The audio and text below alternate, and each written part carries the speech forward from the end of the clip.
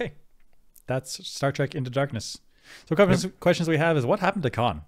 So, at the end of the movie, we see that he's frozen in the crowd mm-hmm. too with his 73 friends.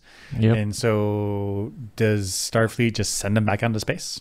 Or do they bury I- them in a Section 31 bunker and just like, you know, button it up, whatever, we're not touching them. I think that's the most reasonable explanation. It's like don't send him out to space again. That's that didn't work out. Put Yeah. him in the bunker, tighten it up. We'll just leave him there. All right. Done. I guess. I guess. Yeah, and then at the end of the movie, they're going to do the five-year mission. Um, Yeah. Yeah. Th- does, is it only the Enterprise that does the five-year mission, or is it a bunch of ships that do the five-year mission? My guess is that other ships do five year missions. Uh, Wild, wild guess. I have no idea. Speculation. Space is big. Um, space is big. There's lots of vectors and it's enormous.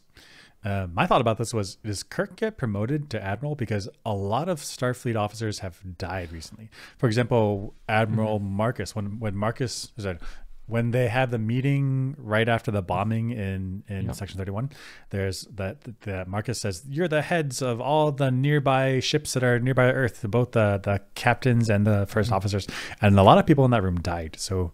So Starfleet's hurting. So is Kirk going to get promoted? And some captains and head honchos might be killed when the Vengeance fell to Earth, so even more Fell may have died. Starfleet, just on San Francisco, the Presidio yet. Yeah. So actually, he might be fast tracked because they might just be depleted at this point.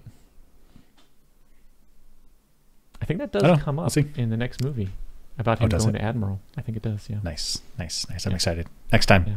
Next time. See you guys next time.